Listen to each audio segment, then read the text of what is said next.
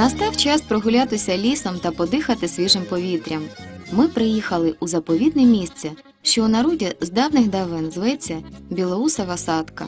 Висота сосен тут сягає 24 метрів. Це місце нагадує сказку, старовинну дитячу казку, де є і баба Яга, і лісовик, і Василиса Прекрасна, і сміливий Іван Царевич. Цей куточок лісу названий на честь капітана Белоусова. Колись у 19 сторіччі це була його земля, і на той час багато лісу було використано на будівництво заводів, гірничо-добудовних підприємств та військових поселень. К середині 19 сторіччя площа лісу скоротилася до 9 тисяч гектарів. Це якщо брати межі сучасного Кремінського району Тоді розпочалися роботи по відновленню лісу, які проводилися не лише державою, а й приватними особами.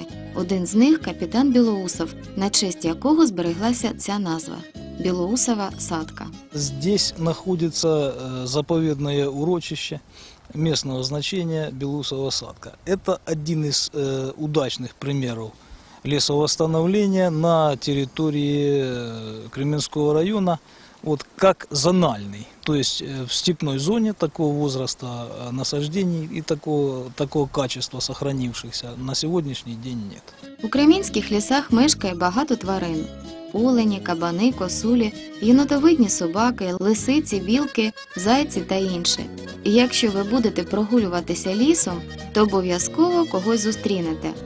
Але безперечно, краще нехай це буде білка, ніж дикий кабан. Тут у Білоусовій сайці ми можемо побачити всіх тварин, що мешкають у кремінських лісах. Але зараз тут тихо. Але не так все просто. А ми можемо зрозуміти, що тут були тварини по їх слідах. Ось, наприклад, тут було заяче пасовисько. Ми бачимо сліди і знешкоджено кору дерев. На це місце постійно приїжджають туристи. Білосова садка це зразок, як повинен виглядати ліс. Але, на жаль, не всі туристи, помилувавшись цією красою, поводяться гідно у заповіднику. Несколько раз э, за сезон сюда приезжают туристы из э, баз отдыха, которые здесь есть. Вот. Есть люди просто приезжают, э, заказывают экскурсии м, для того, чтобы увидеть, э, так сказать, то, что есть, посмотреть на лес, посмотреть на то, какой лес должен быть. Вот. Это одно из насаждений, которое является примером. Вот. И для того, чтобы вообще рассказать детям о том, где мы живем, вот, кто занимался здесь лесовосстановлением, как это происходило, то есть, чтобы люди знали историю, знали, где это ш- и что находится. В принципе, хочется сказать следующее, что э, мусорят и э, ведут себя, ну, скажем так, неправильно в лесу только туристы неорганизованные.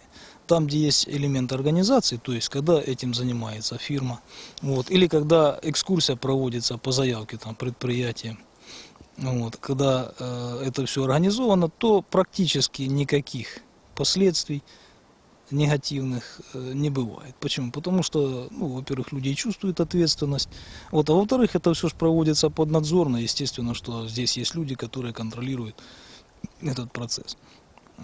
Э, Другое дело, скажем так, туристов диких.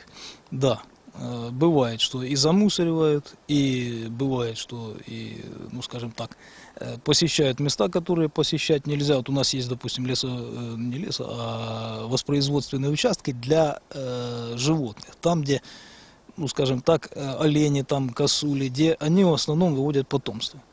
Вот. Эти участки в определенное время года посещать нежелательно. Вот. Ну, люди ж не спрашиваются. И естественно, что посещают и мешают. Вот. Но, тем не менее, у нас есть штат лесной охраны, которые следят за тем, чтобы нарушений таких было э, меньше. Вот, э, которые пресекают нарушения, то есть там составляют протоколы административные, там, если нарушение серьезное, то материалы передаются в правоохранительные органы. Вот, то есть ну, есть комплекс мероприятий, который э, ну, не дает неорганизованным туристам особо нанести вред.